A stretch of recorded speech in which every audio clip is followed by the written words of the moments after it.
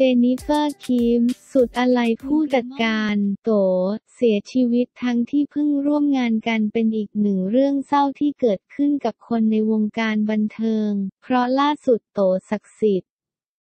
ได้สูญเสียผู้จัดการส่วนตัวไปอย่างไม่มีวันกลับ และทางดีวาชื่อดังเจนิเฟอร์คิมที่เพิ่งได้ร่วมงานกับทั้งโต และผู้จัดการส่วนตัวไปเมื่อไม่นานมานี้ จึงได้โพสต์อาลัยต่อการสูญเสียที่เกิดขึ้น โดยเจนิเฟอร์ คิมได้โพสต์ภาพที่ตนเองโตและผู้จัดการส่วนตัวที่ชื่อว่า คุณวิ ครั้งที่ได้มาร่วมงานกันในรายการเมื่อไม่นานมานี้ ลงในอินสตาแกรม j คิมสีเรียวพร้อมด้วยข้อความอาลัยว่า ความดีและความน่ารักของวิ วายขีดล่างวิสลายะจะอยู่ในใจพี่ตลอดไปการจากไปบนโลกใบนี้ไม่มีคำว่าช้าหรือเร็วเกินไป เพราะชีวิตคนเราต่างมีเวลาไม่เท่ากัน ทุกคนต้องจากไป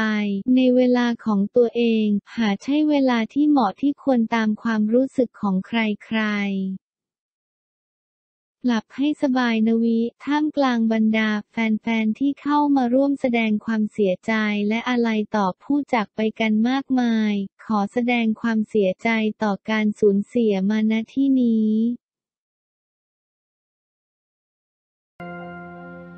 นุกสุทธิดา ไม่ไหวแล้วจริง ๆ เหมือนตอนนี้ไม่เหลือใครแฟนๆแห่เป็นห่วงทำเอาแฟนๆแห่เป็นห่วงกันยกใหญ่เมื่อนักแสดงสาวนุกสุทธิดาเกษมสันณอยุธยาได้โพสต์คลิปในวันที่เจอคนร้ายซึ่งซึ่งหน้า กำลังเข้าไปขนข้าวของในบ้านหรูหลังจากที่เพิ่งถูกตำรวจยึดของกลางและอายัดไว้ แต่งานนี้นุกสุทธิดาได้ระบายความในใจทุกอย่างผ่านทางแคปชั่นในอินสตาแกรมนุกขีดล่างสุทธิดา ถึงความอัดอั้นที่ทะลักเต็มหัวใจจนเก็บไม่อยู่ เพราะไม่ใช่เพียงแต่คดีไม่คืบหน้า แต่ทนายที่เคยอยู่เคียงข้างกลับหายไปทำให้ตอนนี้เธอต้องเผชิญหน้ากับปัญหาอยู่เพียงลำพัง ในความโชคร้ายยังมีความโชคดีอยู่ ในวันที่กลับมากลอกบ้านแล้วเจอคนร้ายเข้ามาขนของในบ้าน ขออภัยในความตกใจพูดไม่รู้เรื่องเพราะเหตุการณ์เกิดซึ่งหน้าแต่พยายามคุมสติอยู่ ไม่ต้องพยายามส่องทะเบียนนะคะเพราะทะเบียนปลอม เลยลบเสียงที่พูดเลขทะเบียนออก สุดท้ายขอขอบคุณคนสองท่านนี้ที่ยังยืนอยู่ข้างนุกมาช่วยนุกในวันที่ไม่มีใคร เพราะนุกก็ไม่รู้ว่ารบอยู่กับใครแต่ไม่ธรรมดาแน่ ขนาดทนายนุกยังหายไปเลยงงมากขอบคุณ ช่างซ่อมกุญแจที่เดอะซีนทาวอินทาวและช่างอู่รุ่งโรดลาดพร้าว 126 เป็นคนดีและมีพระคุณกับนุกมากๆมาช่วยซ่อมประตูรีโมทโดยไม่คิดเงิน ให้ยังไงก็ไม่รับบอกว่าจะเป็นคนลำบากต้องช่วยกัน ไม่เป็นไร รผ่านไปรบกวนอุดหนุนสองท่านนี้ด้วยนะคะ ตอนนี้นุกไม่เหลือใครแล้วอยากวอนใครที่มีความสามารถไม่เกรงกลัวอำนาจมืดช่วยเหลือนุกตรงนี้ได้ รบกวนช่วยเหลือหน่อยข้าไม่ไหวแล้วจริง ๆ ค่ะ สาบานว่าไม่เคยมีคำว่าไม่ไหวจากปากแต่อันนี้ไม่ไหวจริงๆค่ะกราบขอบคุณเจ้าทุกทุกคนที่ติดต่อเข้ามานะคะ มีโอกาสเราคงได้รวมตัวกัน นุกสุดธิดา ช็อกรอบสองของที่ถูกอายัดในบ้านโดนขโมยขอตั้งคำถามฝากถึงตำรวจนุกสุดธิดา ล้มทั้งยืน ปล่อยเช่าบ้านไม้สักสองเดือนกลายสภาพเป็นโรงงานสยองขวัญทุกมุม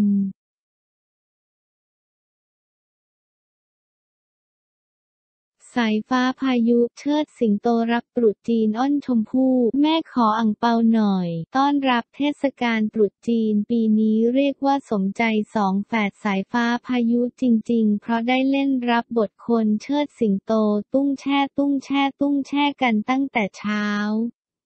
แถมงานนี้ยังน่ารักชวนคุณยายหนิงมาเดินร่วมขบวนด้วยกันกับหลานหลานสายฟ้าพายุกับคอสตูมสีแดงเข้าทีมเดินเชิดสิงโตที่มีกันคนละตัวกิจกรรมสุดโปรดที่เล่นกันมาตั้งแต่เด็กๆ แล้วเรียกว่าไม่มีเบื่อจริงๆ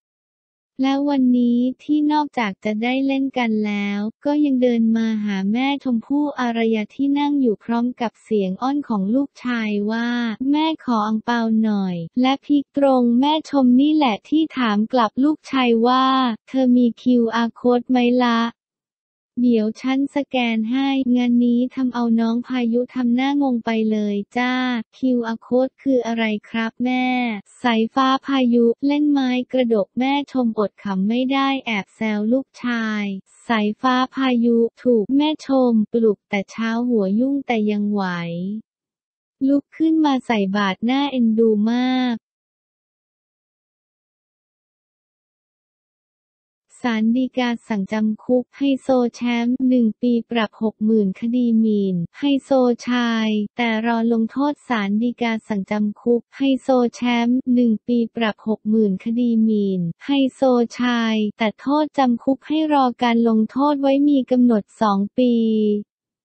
ให้จำเลยโฆษณาคำพิพากษาในหนังสือพิมพ์และเว็บไซต์ 3 วันวันที่ 11 กุมภาพันธ์ 64 ที่ศาลอาญาถนนรัชดาพิเศษศาลอ่านคำพิพากษาศาลฎีกาคดีหมายเลขดำอ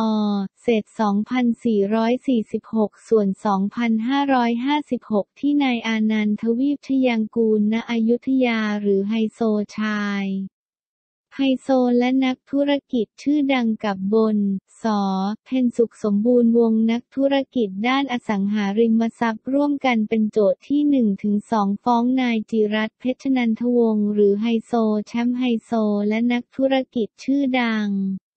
เป็นจำเลยฐานหมิ่นประมาทโดยการโฆษณา กรณีเมื่อวันที่ 10 มีนาคม ลบ 10 เมษายน 2556 กำเลยแถลงข่าวและให้สัมภาษณ์ในรายการ คนดังนั่งเคลียร์ ได้หมิ่นประมาทใส่ความโจทย์ทำนองว่า พวกโจทย์ทำงานไม่เป็นมืออาชีพและข้อความอื่นๆ ล้วนเป็นเท็จทำให้โจทย์ได้รับความเสียหาย สื่อมเสียชื่อเสียงถูกดูหมิ่นเกลียดชังต่อมาศาลชั้นต้นพิพากษาจำคุกไฮโซแชมป์จำเลยเป็นเวลาหนึ่งปีโดยไม่รอลงอาญาส่วนศาลอุทธรพิพากษากลับให้ยกฟ้อง วันนี้ศาลฎีกาพิพากษาแก้เป็นว่า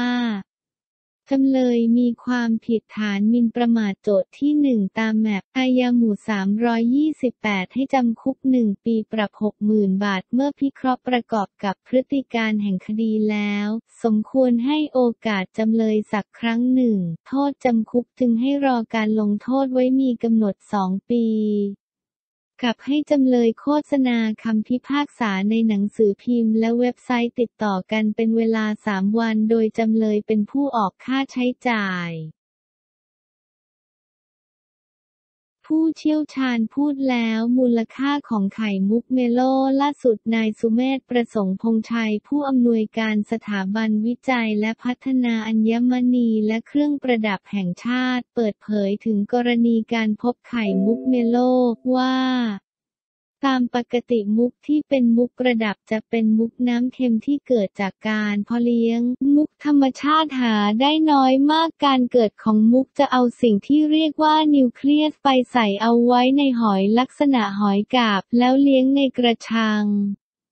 ขนาดที่ออกมาจะประมาณ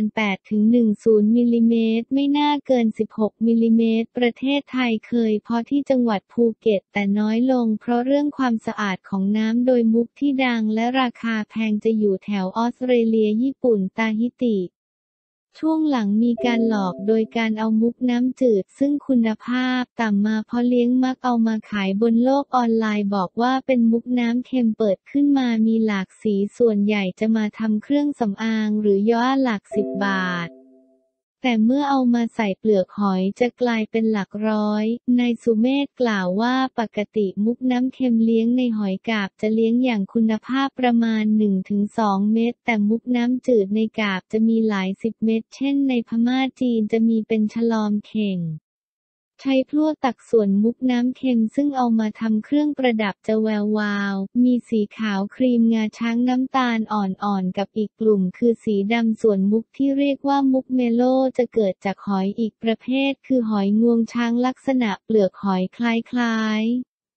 หอยสังเป็นมุกที่พอเลี้ยงไม่ได้เป็นมุกธรรมชาติ ถ้ามีความสมบูรณ์ก็จะยิ่งแพงมากเคยมีคนเจอเทียบกับลูกปิงปองเล็กกว่าหน่อยเท่าเท่าเหรียญสิบบาท ส่วนความประกายของมุกจะน้อยกว่า มุกน้ำเค็มซึ่งคนที่พบ